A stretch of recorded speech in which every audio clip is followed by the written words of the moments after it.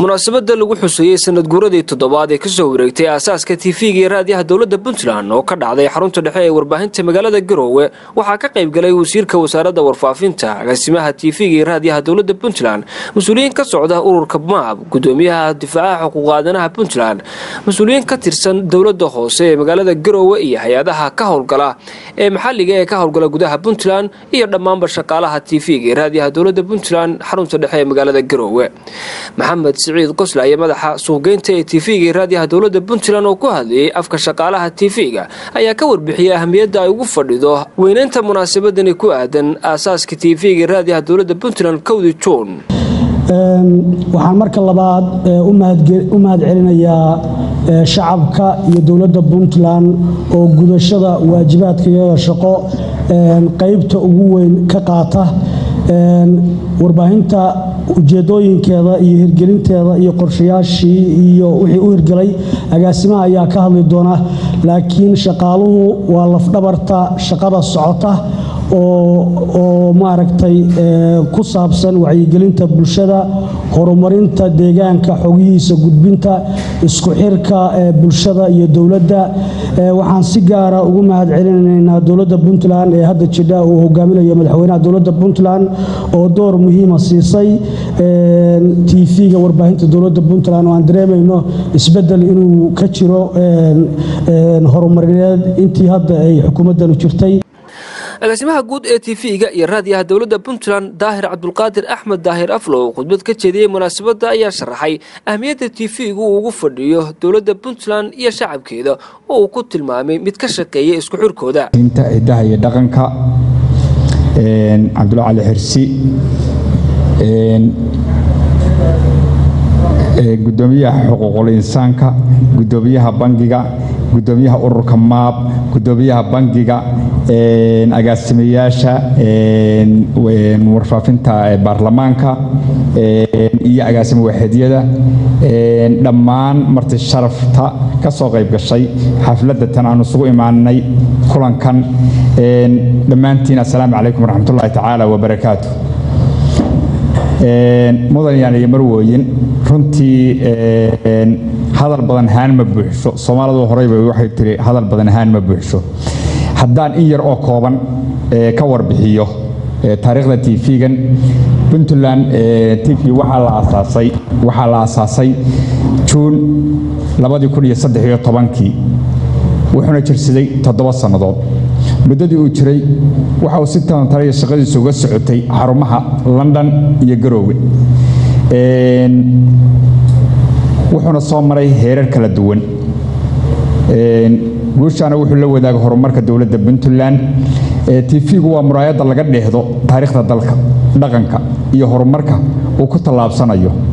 Isbeddelka warfaafintu lafteedu waxa uu dhacaa oo la saanqaadaa isbeddelka guud ee dalka ka socda.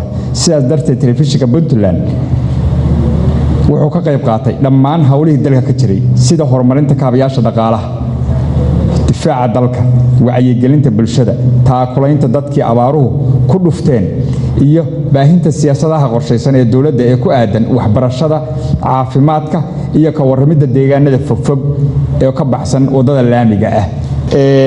Waxyaalaha aan soo kordhiyey hadda muddo saddex bilooda haddaan khaldanayn baan u malaynayaa inaan joogo.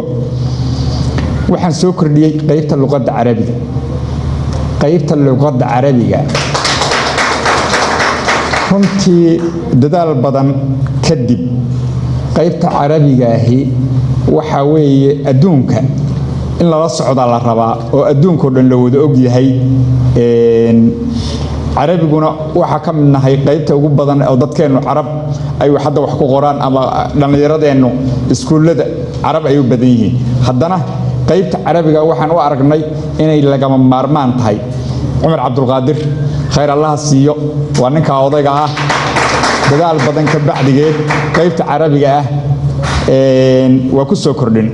Maxamed daahir caansane iyo sidoo kale maxamed yuusuf cali gudoomiyaasha xafiiska difaaca xuquuqa aadanaha puntland iyo maab ayaa dhankooda waxay soo jeediyeen hambalyo iyo bogaadin ku aadan shaqada uu tifigu ugu hayo puntland iyo shacabkeeda. Waxay soo jeediyeen sidoo kale talooyin kor loogu qaadayo tayada iyo sidoo kale shaqooyinka tv-gu laga sugayay ee ay tahay inuu puntland iyo shacabkeedaba u qabto telefishinka puntland toddoba sana ay ka soo wareegtay shaqaalaha iyo howlwadanada meeshan jooga waxay ku soo shaqeeyeen duruufo adag oo aynu ogsoonahay qaabkii ay maxaa la yidhahda ay kaga soo gudbeen.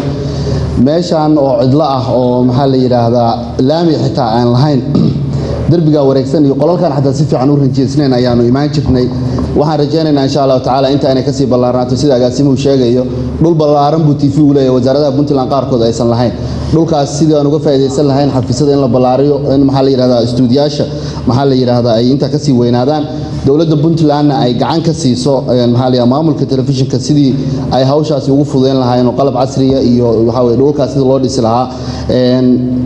Waan uga mahad celinaynaa maxaa la yidhahdaa dowladda toddobadii sano la soo dhaafay gacan ku-hayntii duruufihii kala duwanaa iyo siyaabihii kala duwanaa ay u soo maaraysay maxaa la yidhahdaa shaqada tv-ga laakiin hawl kale madaalayaan weli waa waxaa weeye hogadeedii. Waxaan ka xumahay inaan weli la hirgelin tv-ga in laga dhigo warbaahinta dowladda loo bedelo warbaahin dadweyne si maxaa la yidhahdaa dadweynaha naftirkoodu ay maxaa la yidhaahdaa ay qayb uga noqdaan horumarinta iyo kobcinta shaqada tv-ga watullahi wabarakaatu waxaa sharaf noo ah caawa inaan halkan ka soo qayb galno munaasabadda sanad guurada toddobaad tv-ga puntland.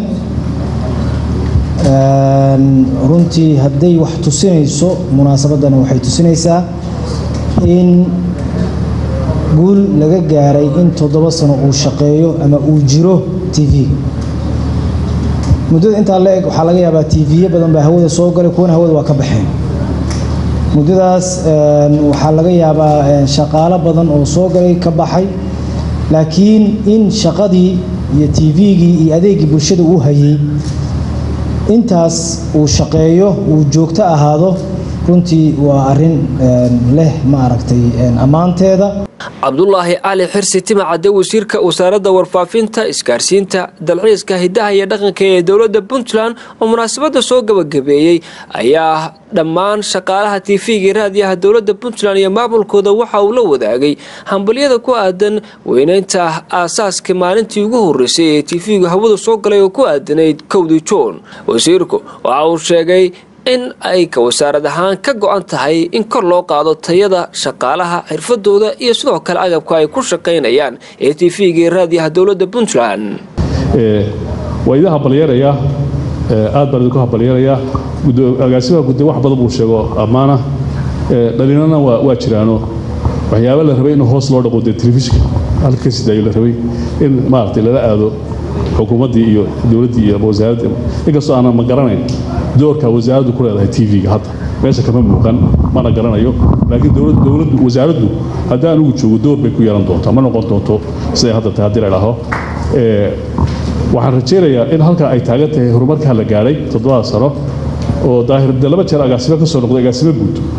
Dee in hore laga soo qaado aniga lafteeda inaan wax keeno oan ku soo biiriyo telefishinka. De waa arrin laga maarmaan ah caynsan waxbuu magaciisay wuxuu yidhi shacabku dee shacabku maxay kasteen way wax kastaan soomaa telefishinka telefishinkani waa afkii dowladdu ku hadlaya. Shacabka waxbaa loo sheegaya dowladda wax u sheegay shacabku ummad dowladda wax uma sheegi karo. Maxamed rasaas puntland t garowe